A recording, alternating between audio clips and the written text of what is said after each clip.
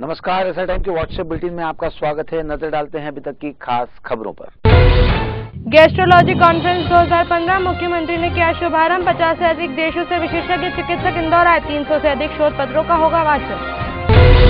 Gastrology conference में स्वास्थ्य के क्षेत्र में बेहतर कार्य करने वाले डॉक्टरों का सम्मान। सरकारी अस्पताल के डॉक्टर के साथ मिलकर काम करने की भी सलाह। सांस्कृतिक प्रस्तुति देने वाले मुखबधिर बच्चों के लिए पुरस्कार की घोषणा।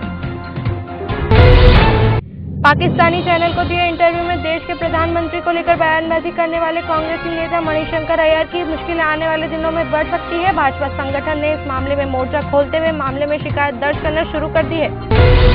प्रदेश सरकार द्वारा अशासकीय शिक्षण संस्थाओं में आरटीई के तहत बच्चों को प्रवेश तो दिलाया जा रहा है, लेकिन सरकार किसी भी निजी स्कूल को समय पर निर्धारित पैसे नहीं दे रही है। सरकार ने इस नीति में स्कूल संचालकों को परेशानी हो रही है। इसके विरोध में गुरुवार को शहर के निजी स्कूलों के संचालकों ने राज्य शिक्षा आयुक्त के नाम पर ज्ञापन सौंपा।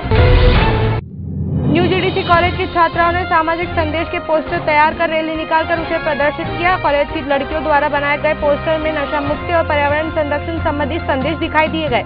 सोमवार रात सदर बाज़ार थाना क्षेत्र के ब्रह्मबाग कॉलोनी में रहने वाले दिलीप अजपाल की हत्या के मामले में सदर बाज़ार पुलिस का गैर जिम्मेदाराना रवैया सामने आया है, जिसमें पुलिस ने एक आरोपी के मिलते जुलते नाम वाले दूसरे व्यक्ति को आरोपी बना डाला। गीता को पाकिस्तान सरकार ने हिंदुस्तान इसलिए भेजा था ताकि उसके माता पिता को खोजकर उनके पास पहुँचाया जा सके, लेकिन सरकार और प्रशासन इस दिशा में वैसे प्रयास नहीं कर रही है।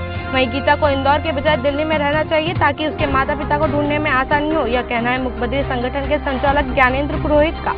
एस टाइम के व्हाट्सएप बुलेटिन में बस इतना ही। सुनील जोशी को दीजिए इजाज़त। नमस्कार।